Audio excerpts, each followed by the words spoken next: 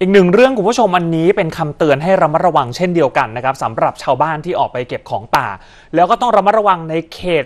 อุทยานแห่งชาติเช่นเดียวกัน แต่ตที่นี้คืออุทยานแห่งชาติเขาใหญ่ ที่ต้องระวังคราวนี้ไม่ใช่ระเบิด แต่เป็นระวังกระทิงนะเพราะว่ามีชาวบ้านเนี่ยที่ไปเก็บของป่าไปแย่ไข่มดแดงเนี่ยถูกกระทิงไล่ขวิดจนได้รับบาดเจ็บมาแล้วหลายคน ภายใน 2 สัปดาห์นี่เจ็บสาหัสมาแล้ว 6 คนนะครับ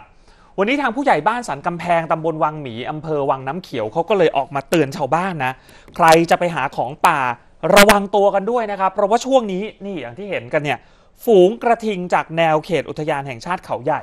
เขาออกมาหากินตามลำคลองธรรมชาติของเขานี่แหละ แต่ทีนี้มันก็เลยเป็นไปได้ที่คนที่ไปหาของป่าไปแย่ไข่มดแดงอะไรเหล่านี้เนี่ยจะไปเจอกับฝูงกระทิงเข้านะ อย่าไปหยิบโทรศัพท์ขึ้นมาเปิดแฟลชถ่ายรูปหรืออะไรนะ คือออกห่างๆยิ่งดีฮะเพราะว่าการเจอในระยะกระชั้นชิดเนี่ยอาจจะถูกเขาไล่ชนหรือว่าขิดทำร้ายได้ แล้วแค่ 2 วันที่ผ่านมานี่เองคุณผู้ชม เพิ่งจะมีชาวบ้านในตำบลโป่งตาลองเนี่ยออกไปแย่ไข่มดแดงแล้วไปเจอกระทิง ก็เลยโดนไล่ขิด บาดเจ็บไม่ใช่ธรรมดานะ บาดเจ็บสาหัสเลยนะฮะแล้วย้อนไปเพียงแค่ระยะเวลา 15 วัน